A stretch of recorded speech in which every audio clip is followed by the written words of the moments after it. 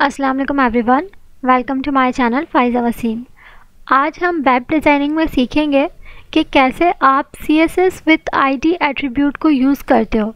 C S S with I D attribute है क्या? पहले हम ये देख लेते हैं। उससे पहले एक रिक्वेस्ट है कि अगर आप पहली दफ़ा हमारे चैनल पर आए हैं तो आप हमारे चैनल फ़ाइज़ा वसीम को सब्सक्राइब कर सकते हैं। यहाँ पर आपको वेब डिज़ाइनिंग से रिलेटेड और सॉफ्टवेयर इंजीनियरिंग से रिलेटेड डिफरेंट वीडियोस देखने को मिलती रहती हैं तो आप हमारे चैनल को सब्सक्राइब कर सकते हैं। आज की वीडियो स्टार्ट करते हैं और बात करते हैं कि C S S with I D attribute actually में है क्या। यहाँ पर मैंने अपने पास HTML की इंडेक्स फ़ाइल ओपन की है। आप यहाँ पर देख रहे हैं आ, मेरे पास जो है वो एक हैडिंग वन का टैग है यहाँ पर एक मेरे पास पी टैग है ठीक है? अब मैंने यहाँ पर अगर मैं आपको CSS की फ़ाइल दिखाऊँ तो यहाँ पर मैंने इसको फ़िलहाल मैं हेडिंग टैग की स्टाइलिंग को रिमूव कर देती हूँ ठीक है? सिर्फ़ और सिर्फ़ पी टैग की अगर मैं यहाँ पर आपको स्टाइलिंग दिखाऊँ तो यहाँ पर मैंने पी टैग को कलरिंग दी है फॉन्ट फैमिली दी है और साथ में फॉन्ट का साइज़ दिया है। ठीक है? फॉर एग्ज़ाम्पल अगर मेरी एचटीएमएल फ़ाइल के अंदर एक पी टैग नहीं, बल्कि दो पी टैग हैं, किस तरह से? बिल्कुल इस तरह से, ठीक है? मैं चाहती हूँ कि दिस इज़ माई पैराग्राफ इसको मैं कलर दूँ डिफरेंट और दिस ये जो मेरे पास सेकंड पी टैग है, जिसमें मैंने लिखा है आई एम डिफरेंट इसको मैं चाहती हूँ डिफरेंट कलरिंग दूँ डिफरेंट हेडिंग दूँ डिफरेंट साइज़ दूँ तो वो किस तरह से पॉसिबल होगा? फ़िलहाल यहाँ पर जो मैं, मैंने आईडी दी है, इसको मैं करती हूँ यहाँ से रिमूव ताकि मैं आपको प्रॉपरली समझा सकूँ। फ़िलहाल तो हम इसको यहाँ से कट कर देते हैं, ठीक है? अब अगर आप यहाँ पर देख रहे हैं, ये मेरे पास दो पी टैग्स हैं। This is my paragraph this is I am different अब मैंने यहाँ पर स्टाइलिंग दी है।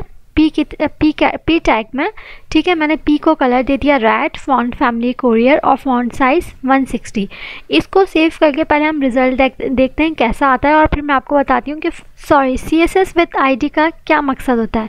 हम इसको करते हैं यहाँ से सेव और मैं ब्राउज़र पर चलकर इसको रिफ़्रेश करती हूँ ठीक है?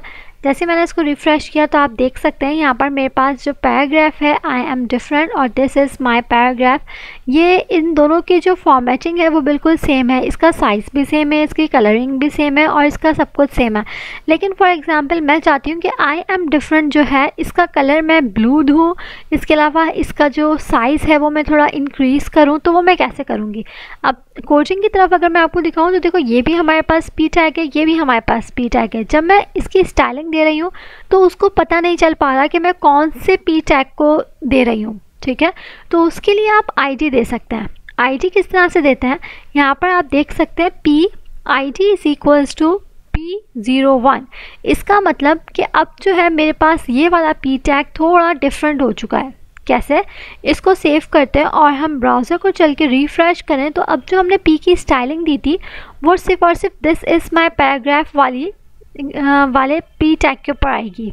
इसको मैं रिफ़्रेश कर रही हूँ तो अभी भी हमारे पास रिज़ल्ट सेम ही दिखा रहा है। वजह ये है कि हमने यहाँ पर सिर्फ़ और सिर्फ़ पी दिया है। अगर मैं चाह रही हूँ कि मैं इस वाले पी टैग की, जिस पर मैंने I D P zero one दिया है, इसकी मैं फॉर्मेटिंग चेंज करूँ तो उसके लिए मुझे उसको आई डी भी बतानी पड़ेगी कि इस पी टैग की आई डी डिफरेंट होनी चाहिए।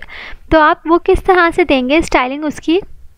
उसकी स्टाइलिंग आप बिल्कुल इस तरह से देंगे। आप देख सकते हैं, यहाँ पर मैंने hash tag P zero one लिखा है। इसका मतलब ये है कि मैं इस वाली आईडी को यूज़ कर रही हूँ और उसका कलर मैं ब्लू चाह रही हूँ, जबकि पहले वाले पी का मेरे पास कलर रेड था। इसको हम करते हैं यहाँ से सेव अब अपना ब्राउज़र चल के रिफ़्रेश करते हैं। और जैसे ही मैंने इसको रिफ़्रेश किया आप देख रहे हैं इसके में इसका कलर मेरे पास चेंज हो चुका है। सिमिलरली आप चाहें तो इसकी फ़ॉन्ट फैमिली और इसका साइज़ भी चेंज कर सकते हैं। जैसे कि इसको मैंने यहाँ से कंट्रोल सी किया है और यहाँ पर कर, मैं इसको कंट्रोल वी करती हूँ। इसका जो हमारे पास फैमिली है वो मैं चेंज कर देती हूँ। ठीक है?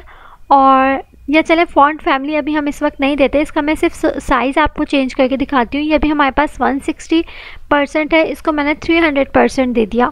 अब मैं इसको सेव करती हूँ और आपको ब्राउज़र रिफ़्रेश करके दिखाती हूँ। कि हमारे पास किस तरह से इसके साइज़ में भी डिफरेंट डिफरेंस आ गया।